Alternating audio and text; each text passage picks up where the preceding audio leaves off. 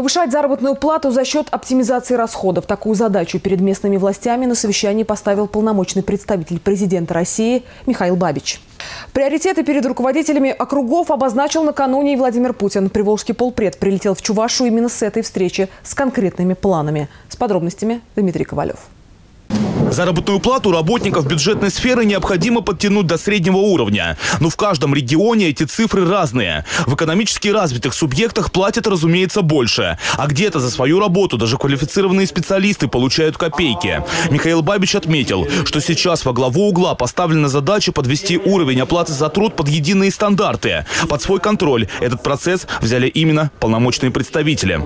На первом этапе мы решаем э, первичную задачу, выводим э, уровень зарплаты в соответствии с указами президента либо на средний по экономике, либо там два э, уровня по экономике да, к 2018 году по ряду категорий бюджетников.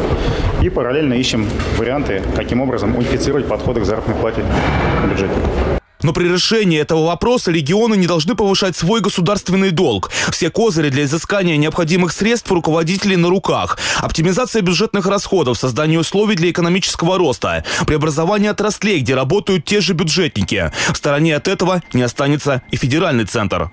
Источники понятны, подходы понятны, но при этом мы и говорим о том, что, конечно, и федеральный центр, федеральный бюджет готов и помогает сегодня регионам для, баланс, для сбалансировки бюджета.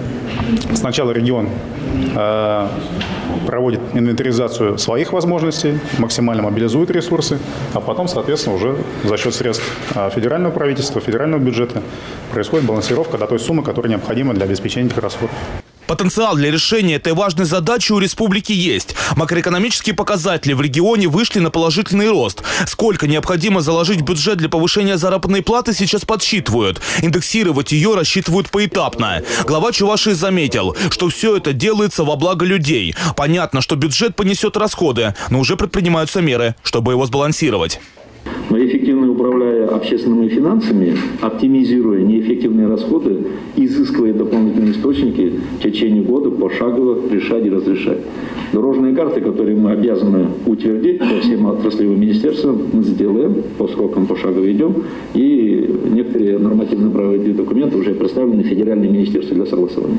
Важнейшая задача для руководителей на местах – строительство жилья эконом-класса. Для снижения стоимости квадратных метров регионам необходимо предоставлять готовые площадки застройщикам. К участкам должны быть подведены все необходимые коммуникации. Доступного жилья в стране должно стать в разы больше уже через пять лет. По подсчетам, только в Чувашии его смогут приобрести более 50% жителей. Дмитрий Ковалев, Евгений Анисимов, Республика.